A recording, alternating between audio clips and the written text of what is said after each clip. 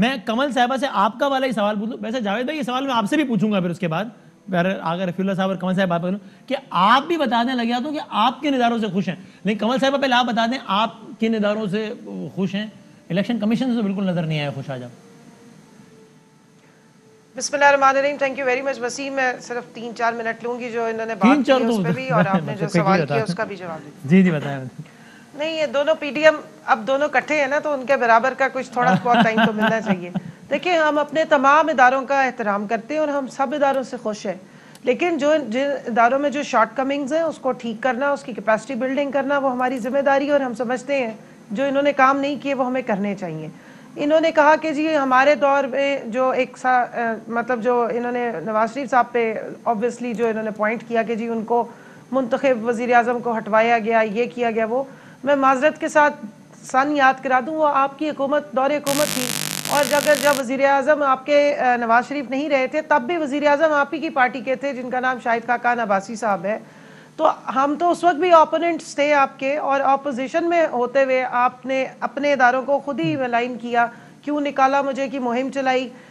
Supreme court کو controversial بنانے کی کوشش کی اور اعلیٰ عدلیہ کے اوپر جو ہے وہ الزام تراشی کی اور ہم اس چیز پہ اس یہ لائنز ہم نہیں لیتے۔ دوسری بات انہوں نے ڈسکا کے لائن آپ نے لی نہیں کے بارے میں کی میں تھوڑے دنوں پہلے تک عمران خان صاحب نے کہا تھا ہمارے چینل میں عادل عباسی صاحب سے بات کر رہے تھے انہوں نے کہا الیکشن سلیکشن کمیشن میں ہمیں اعتماد ہے۔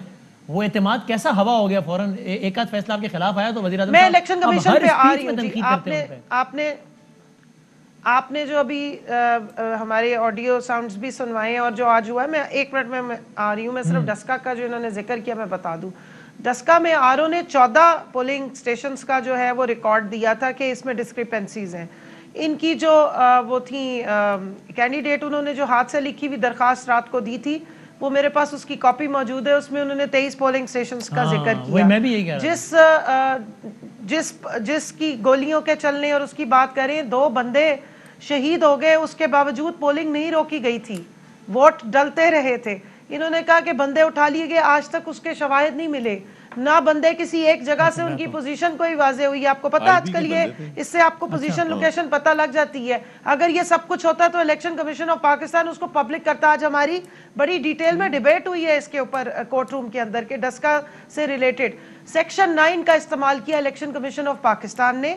اور تین دن کے اندر چوبیس گھنٹے میں انہوں نے پورا نوٹس لیا اور چھ دن کے اندر اندر انہوں نے پورے الیکشن کو نل اینڈ وائٹ کر دیا ہماری پریئر بھی گئی تھی آپ نے پوچھا کہ مایوسی ہوئی ہاں۔ بالکل مایوسی نہیں ہوئی اور میں آپ کو صرف اتنا بتا دوں کہ جی،۔ ہماری جو مین پٹیشن تھی جو دو مارچ کو میں نے جمع کرائی تھی وہ یوسف رضا گلانی صاحب کی نا اہلی ہے اور وہ اس نے ایکسپٹ کر لی الیکشن کمیشن نے اور یوسف رضا گلانی صاحب اور ان کے بیٹے علی حیدر گلانی کو جو ویڈیوز آئی ہیں اس کے بیس پہ نوٹسز جاری کر دیے۔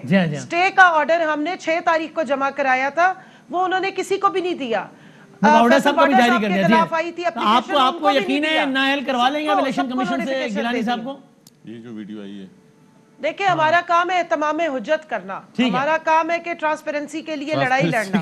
آگے اداروں کی مرضی ہے وہ لا اور قانون کے مطابق جس طرح چلیں گے۔ اگر وہ چیز نہیں چلی اگر یہاں نہیں ہوئی تو ہم اگلے فورم میں اللہ صاحب سے میں لیکن قانون کے مطابق ایفرٹس کرنی چاہیے۔ آگا رفی اللہ صاحب ابھی